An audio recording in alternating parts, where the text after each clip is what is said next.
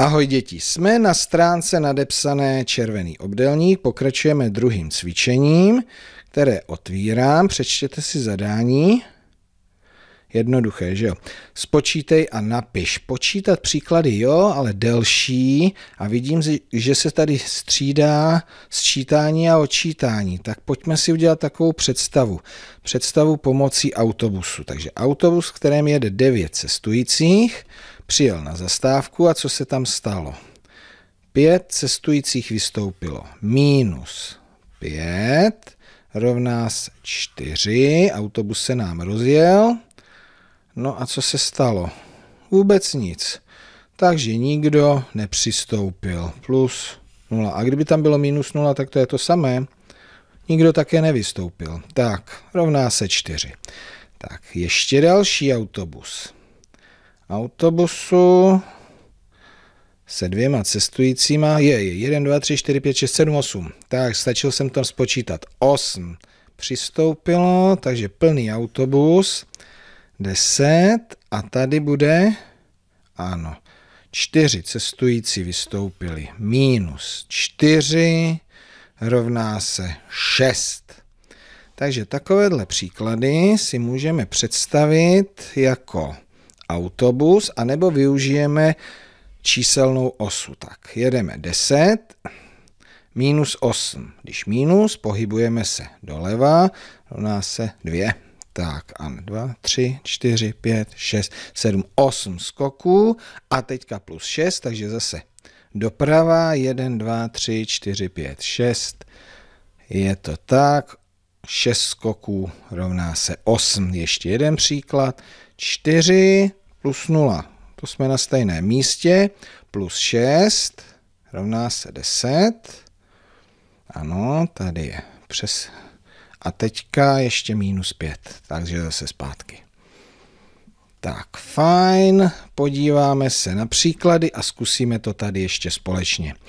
Zkusíme si to představit jako ten autobus. Autobus jede, přijede do první zastávky a co se tady děje na té zastávce?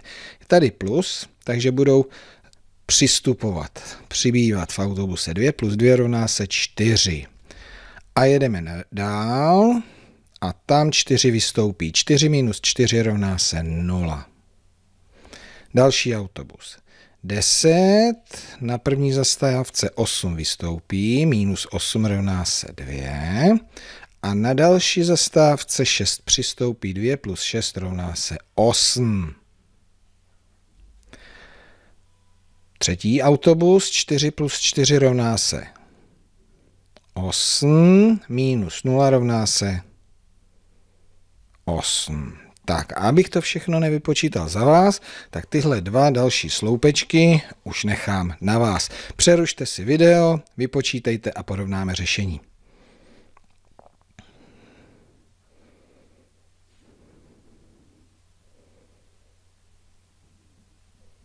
Výborně, máte hotovo, takže já budu říkat 9 minus 5 rovná se. Ano, slyším 4 plus 0 rovná se 4. 2 plus 8 rovná se 10. Minus 4 rovná se 6. 4 minus 3 rovná se 1 plus 8 rovná se 9. Tak a teď už to zkusím jenom takhle říkat a vy si ty dílčí výsledky říkejte sami. 0 plus 5 minus 4 plus 1 rovná se slyším 2.